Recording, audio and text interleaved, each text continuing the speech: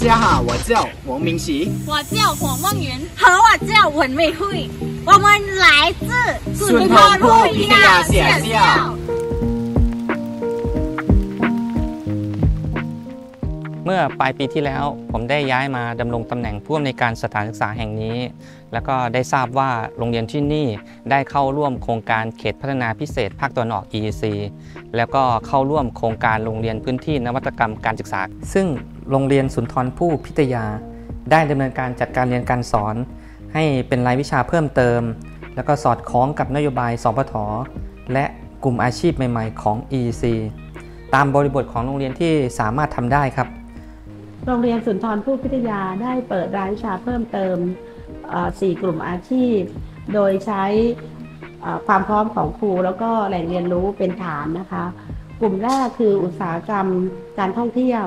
กลุ่มที่ 2 ในเรื่องของอุตสาหกรรม การเกษตรและเทคโนโลยี กลุ่มที่ 3 ในเรื่องของอุตสาหกรรมดิจิทัล กลุ่มทีสี่4 อุตสาหกรรมการแปรรูปอาหาร ซึ่งในการจัดการเรียนรู้ เราพยายามที่จะให้นักเรียนเนี่ยได้ ประสบการณ์ตรงโดยการปฏิบัติจริงนะคะ อย่างเช่น อุตสาหกรรมการท่องเที่ยวเราได้นำนักเรียนไปเรียนนอกสถานที่ที่เราเรียกว่าบล็อกคอร์สคือใช้เวลา 2 วัน ในการให้นักเรียนไปเรียนแหล่งเรียนรู้ แล้วก็กลับมาออกแบบในการนำเสนอเพื่อที่จะเป็นมัคคุเทศต่อไป ในส่วนของอุตสาหกรรมดิจิทัล กับอุตสาหกรรม การเกษตรและเทคโนโลยี ขณะนี้โรงเรียนได้ดำเนินการไปเป็นรูปธรรมแล้ว ส่วนในเรื่องของอการแปรรูปอาหารนั้น เราเพิ่งได้ครูใหม่มาค่ะ และเราก็เริ่มเปิดสอนแล้ว ขณะนี้ก็กำลังพัฒนาในเรื่องของสถานที่และอุปกรณ์ ซึ่งต่อไปคิดว่าก็จะมีความพร้อมทั้ง 4 กลุ่มอาชีพค่ะ งบประมาณที่ได้รับถูกนำไปใช้เพื่อพัฒนาทั้งทางด้านพัฒนาครู การจัดซื้อวัสดุอุปกรณ์สำหรับรายวิชาเพิ่มเติม รวมทั้งกิจกรรมการเรียนรู้ต่างๆ นอกจากงบประมาณที่ได้รับจากโครงการ EEC แล้ว โรงเรียนยังได้ใช้เงินอุดหนุน และเงินรายได้สถานศึกษา เพื่อสนับสนุนการจัดการเรียนรู้ในรายวิชาเพิ่มเติมอย่างเต็มที่ค่ะ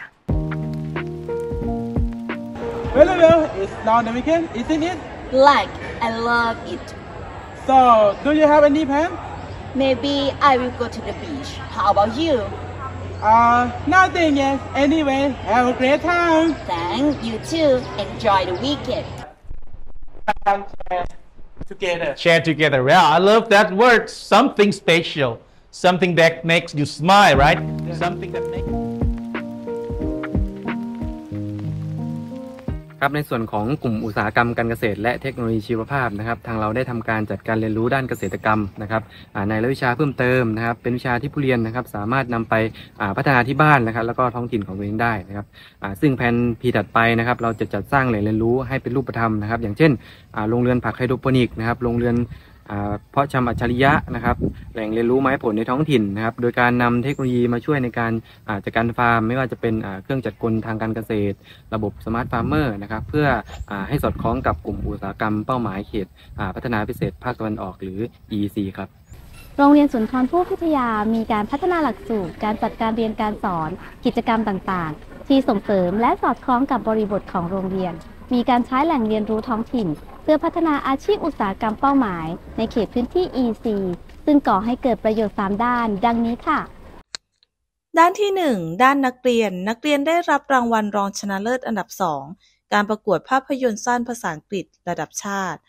นักเรียนได้รับรางวัลรองชนะเลิศอันดับ 2 การแข่งขันละครภาษาอังกฤษ ในงานระยองเอ u ูกาเอ็กโปได้รับเงินรางวัล 1 0 0 0 0 0บาท นักเรียนได้รับทุนของบริษัท IRPC และทุนเพื่อนชุมชน นักเรียนเข้าร่วมกิจกรรมแลกเปลี่ยนวัฒนธรรมกับประเทศในอาเซียน ด้านที่ 2 ด้านสถานศึกษา รางวัลชนะเลิศระดับภาค 8 ด้านบริหารจัดการศึกษา โครงการ IFTE ครูผู้สอนได้รับคัดเลือกให้นำเสนองานในระดับนานาชาติ ด้านที่ 3 ด้านชุมชน โรงเรียนสุนทรภู่พิทยาร่วมมือกับผู้ปกครองนักเรียน และชุมชนในการทำกิจกรรมต่าง ๆ มีการจัดการเรียนการสอนโดยใช้แหล่งเรียนรู้ท้องถิ่น จนเป็นที่ยอมรับของชุมชน และให้การสนับสนุนด้านต่าง ๆ ส่งผลให้มีพัฒนาการด้านการเรียนการสอน ผมได้ให้ความสำคัญกับการจัดการศึกษา